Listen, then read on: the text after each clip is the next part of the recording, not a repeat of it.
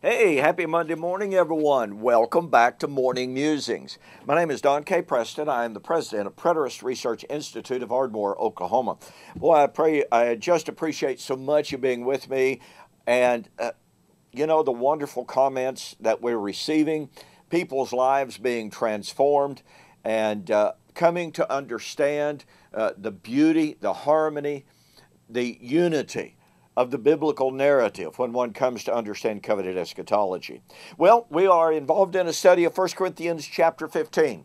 Paul said that when, when the mortal shall put on immortality, when the corruptible shall put on incorruptibility, then shall be brought to pass the saying, Death is swallowed up in victory. Now, virtually every scholar that I know of agrees that Paul is drawing from, citing, and quoting from Isaiah chapter 25 be sure to go back and look at the three previous videos on fulfilling Israel's hope.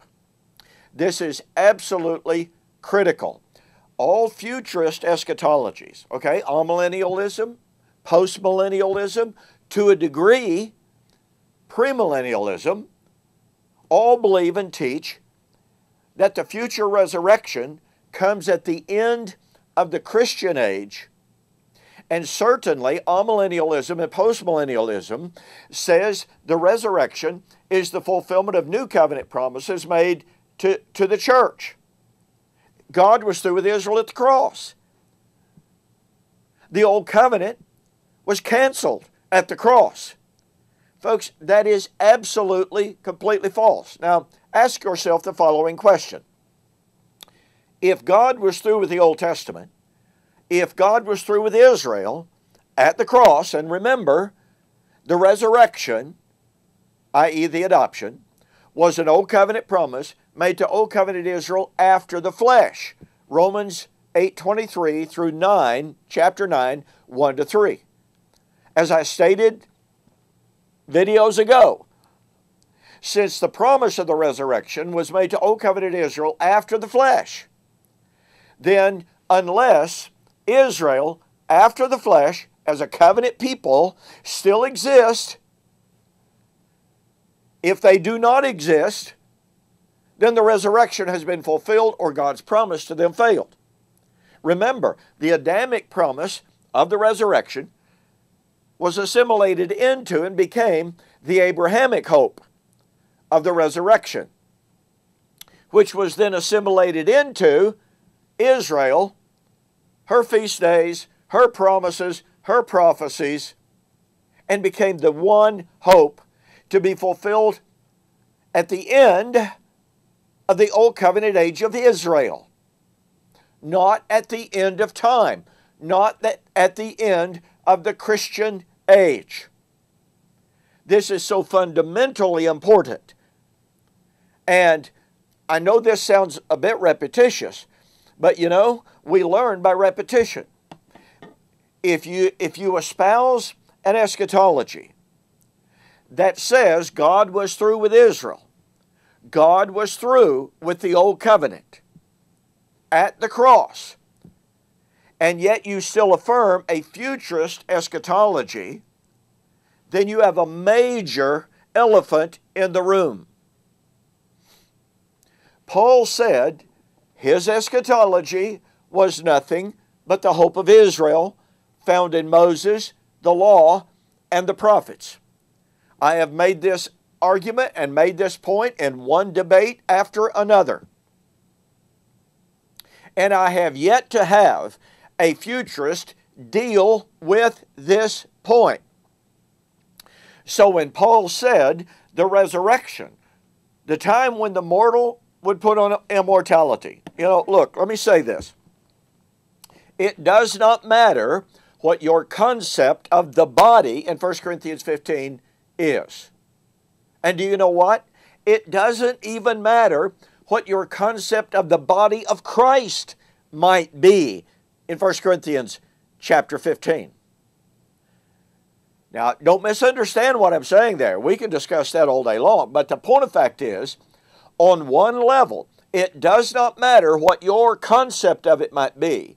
You must correlate and harmonize your concept of the body in 1 Corinthians 15, your concept of the body of Christ with the undeniable reality that Paul said the resurrection would be when Isaiah 25, Hosea 13, Daniel 12, Ezekiel 37 would be fulfilled. So let me say this again. If you have an eschatology that says that God was through with Israel, that says Israel is no longer God's covenant people, if you believe that the old covenant was canceled at the cross, then you absolutely must deal with 1 Corinthians chapter 15. Because Paul believed, Paul taught through inspiration that the resurrection would be in fulfillment of God's Old Covenant promises made to Old Covenant Israel. Now, I know that's a bit repetition, repetitious, but I just feel like it's absolutely critical for us to keep this indisputable fact in front of our eyes, in front of our mind. Tomorrow, we're going to begin an examination of Isaiah chapter 25, since Paul said that the resurrection of 1 Corinthians 15 would be in fulfillment of Isaiah 25. Well, what did Paul or what did Isaiah, excuse me, predict in Isaiah 25? Did he predict physical bodies coming out of literal dust? The answer to that is absolutely no. So you do not want to miss this. Now, you need to order yourself a copy of my book, The Resurrection of Daniel chapter 12, verse 2, Fulfilled or Future. This is an absolutely devastating critique of the futurist view of the resurrection. And I can assure you, there's nothing else like it out there. This will show you that all of the attempts to, you know, just push away, push away, to ignore what Daniel had to say about the resurrection and what Paul literally had to say about the resurrection are simply specious.